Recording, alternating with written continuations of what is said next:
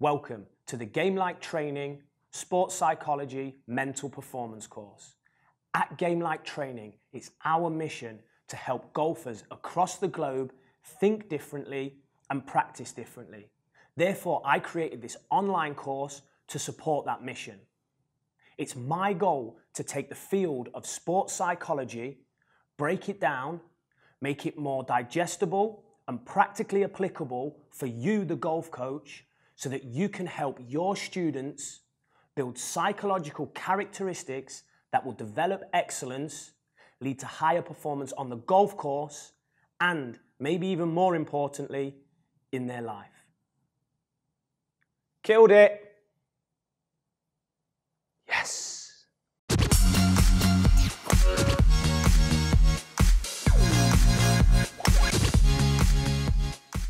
Science has proven that humans are blessed with a gift, and that's the gift of adaptability. I passionately believe that anyone can take advantage of this gift and develop mental skills that will help them take steps closer to their goals and dreams. So, as coaches, when a student stands in front of us, we have an opportunity. We have an opportunity to perhaps change their golf swing. We have an opportunity to help them with on course performance? Or do we have an opportunity to use golf as a vehicle that can help that student change their life?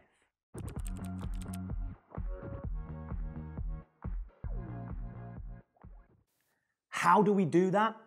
We create training programs that help students implicitly learn psychological characteristics that develop excellence.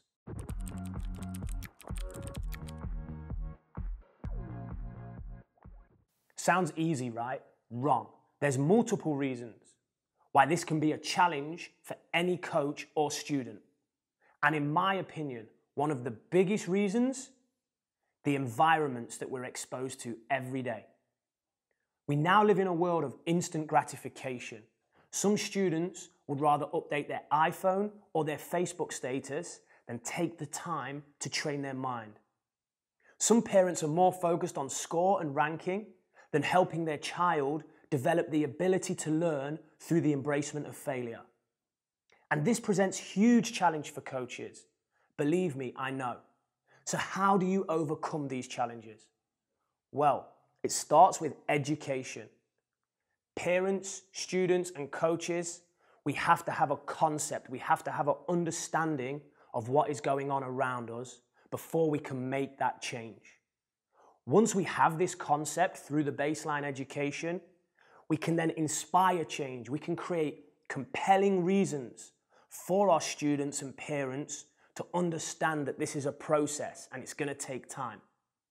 And then the practical application. Students have to be held accountable every day for the way that they engage in the process and the way that they engage in the training environments that we can help create that will help the student evolve psychological excellence. So, now it's time. Let's get into the course. Time for some education, inspiration, and practical application on sports psychology